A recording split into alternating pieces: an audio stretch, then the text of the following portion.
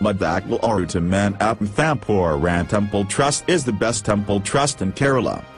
President is Manikandan and the secretary is Praveen. Oh I will know about them Manikandan is also known as Kandar. Yes that's correct. The trust has 11 executive members and 7 trust members. The trust committee is very strong in social work. They have to build a road in near Mandap.